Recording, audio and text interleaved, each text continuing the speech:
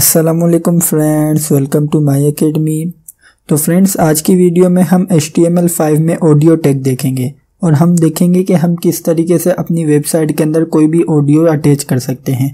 तो फ्रेंड्स आइए आज की वीडियो स्टार्ट करते हैं।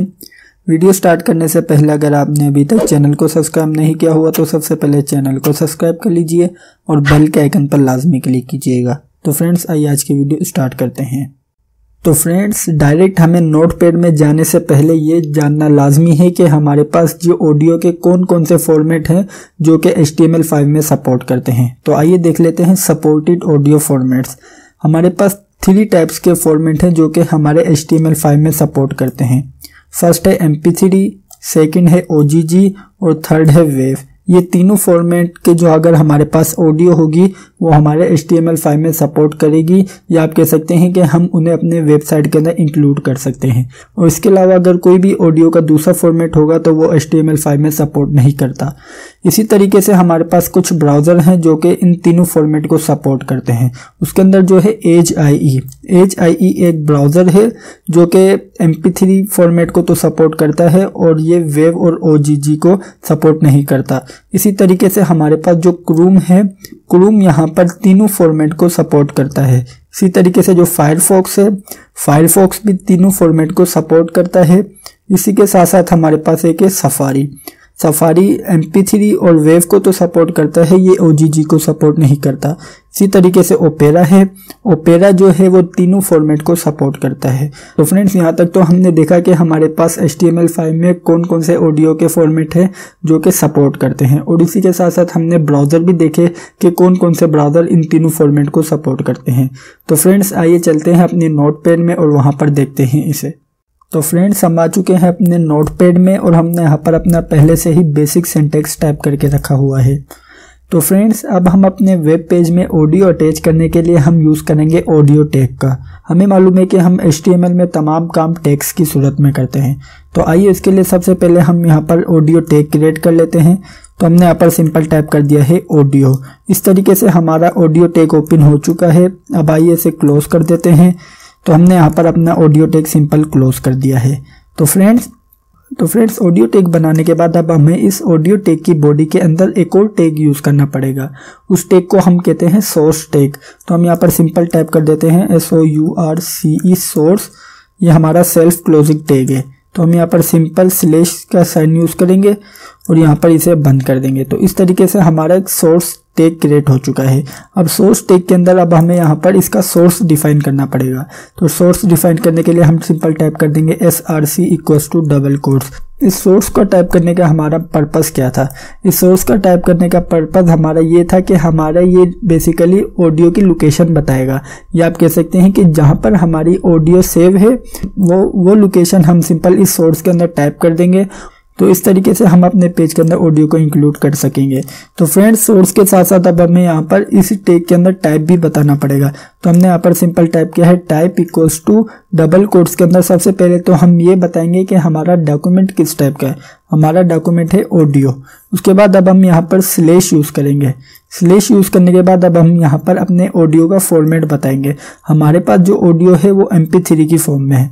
तो हमने यहाँ पर सिंपल टाइप कर दिया है एम तो फ्रेंड्स आइए अब हम यहाँ पर इसे सोर्स बताते हैं। सोर्स बताने के लिए हमने सिंपल यहाँ पर इस फ़ाइल को ओपन किया हुआ है और हमने यहाँ पर अपनी ऑडियो टेक डॉट एच वाली फ़ाइल क्रिएट की हुई है। जहाँ पर मैंने इसे सेलेक्ट किया हुआ है, ये हमारी है ऑडियो टेक डॉट एच तो ये हम इस फ़ाइल के अंदर कोडिंग कर रहे हैं। उसी के साथ साथ हमारे पास एक फोल्डर है पिक का।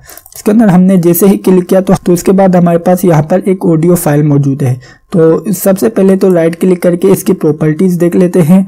हमारे पास यहाँ पर ये तीन फॉर्मेट में होनी चाहिए। पहला है ओजीजी दूसरा है वेव या तीसरा है एम अगर इन तीनों के अलावा कोई और फॉर्मेट में हुई तो ये हमारे एच फाइव में सपोर्ट नहीं करेगा।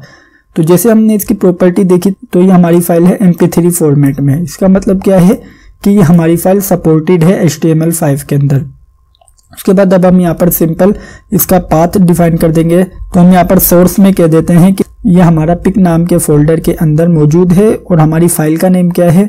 हमारी फ़ाइल का नेम है म्यूज़िक तो हम यहाँ पर सिंपल टाइप कर देंगे music dot M P three आइए इसे सेव करते हैं। सेव करने से पहले हमें यहाँ पर ऑडियो टेक के अंदर एक प्रॉपर्टी यूज़ करनी पड़ेगी, जिसे हम कहते हैं कंट्रोल्स तो हम यहाँ पर सिंपल टाइप कर देते हैं कंट्रोल्स आइए इसे सेव करते हैं. सेव करने के बाद पेज को करते हैं रिफ्रेश जैसे ही पेज को रिफ्रेश किया तो हमारे इस वेब पेज के अंदर ऑडियो इंक्लूड हो चुका है। ये हमारी ऑडियो है एक मिनट बावन सेकंड की। इसी के साथ साथ हमारे पास यहाँ पर इसके साउंड को कम ज़्यादा करने का ऑप्शन भी मौजूद है। आइए इसे प्ले करते हैं। जैसे हमने यहाँ पर इसे प्ले किया तो हमारा ये साउंड चल चुका है। आपको भी आवाज़ आ रही होगी कि हमारे साउंड चल चुका है।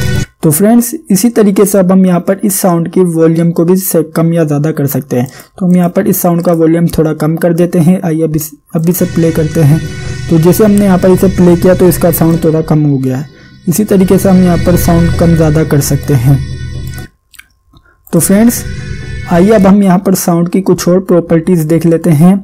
साउंड की प्रॉपर्टी में एक होती है हमारी ऑटो प्ले ऑटो प्ले का मकसद ये है कि जब हम अपने पेज को रिफ्रेश करेंगे तो हमारा म्यूज़िक ऑटोमेटिकली रन होने लग जाएगा। किस तरीके से? अब मैं आपको करके दिखाता हूँ। मैं सिंपल यहाँ पर टाइप कर देता हूँ ऑटो प्ले आइए सेव करते हैं। सेव करने के बाद पेज को करते हैं रिफ्रेश जैसे ही पेज को मैंने यहाँ पर रिफ्रेश किया तो मेरा म्यूज़िक ऑटोमेटिकली चलने लग गया। इसका मतलब क्या है कि ये हमारा ऑटो प्ले की प्रॉपर्टी अप्लाई हो चुकी है इसमें।